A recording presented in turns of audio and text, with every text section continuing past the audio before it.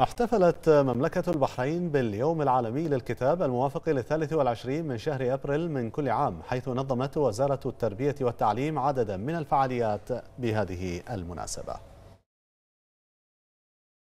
دشن سعادة الدكتور ماجد بن علي النعيمي وزير التربية والتعليم رئيس لجنة البحرين الوطنية للتربية والعلوم والثقافة حملة إقرأ.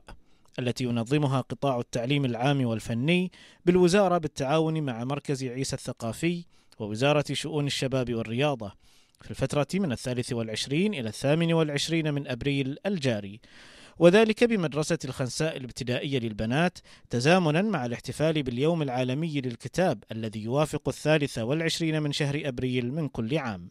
سعادة الوزير أكد أن الوزارة توفر أكثر من نصف مليون كتاب موزعين على مراكز مصادر التعلم بجميع المدارس الحكومية فضلا عن 97 ألف كتاب بمراكز مصادر المعرفة لتشجيع الطلبة وغيرهم من شرائح المجتمع على القراءة باعتبارها مدخلا رئيسا للمعرفة بشتى مجالاتها فضلا عن أهميتها في نشر قيم التسامح والتعايش والحوار والانفتاح الثقافي.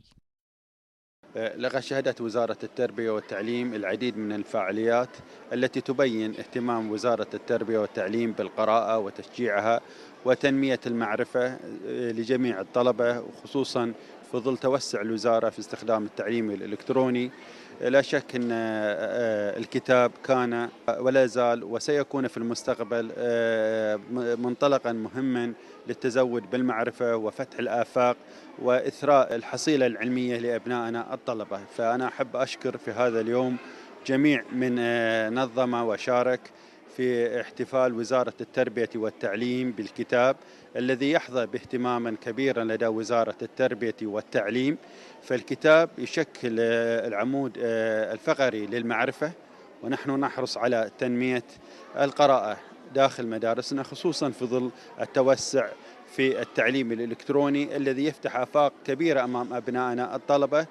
آه، لا شك أن الثقافة تسهم أيضا في الارتقاء بالتحصيل الدراسي لدى أبنائنا الطلبة وهذا هدف وغاية أساسية لدينا في وزارة التربية والتعليم. واطلع الوزير على عدد من الأنشطة والمشاريع المدرسية المشجعة على القراءة والتي تشمل جميع الطلبة بمن فيهم ذوي الاحتياجات الخاصة إضافة إلى مشروع القارئة الماهرة ومشروع القراءة للجميع إضافة إلى أنشطة القراءة الرقمية باستخدام الأجهزة الذكية. وتقديرا لدور المبدعين والكتاب البحرينيين في هذه المناسبة. كرم الوزير الشاعر القدير علي الشرقاوي كما ألقت إحدى الطالبات قصيدة بلد عيني للشاعر الشرقاوي بهذه المناسبة. شيء رائع أن يكون هناك احتفاء احتفال بالكتاب من خلال مدارس لأن الطلبة يمثلون نصف الحاضر لكنهم كلهم كل المستقبل. لذلك فهو اليوم تكريم للمستقبل من خلال الطلبة والكتاب من جانب آخر افتتح الوزير الاحتفال الذي نظمته إدارة المكتبات العامة ويستمر لمدة ثلاثة أيام بمركز مصادر المعرفة في المحرق بمشاركة جميع مراكز مصادر المعرفة التابعة للوزارة والموزعة على المحافظات الأربع.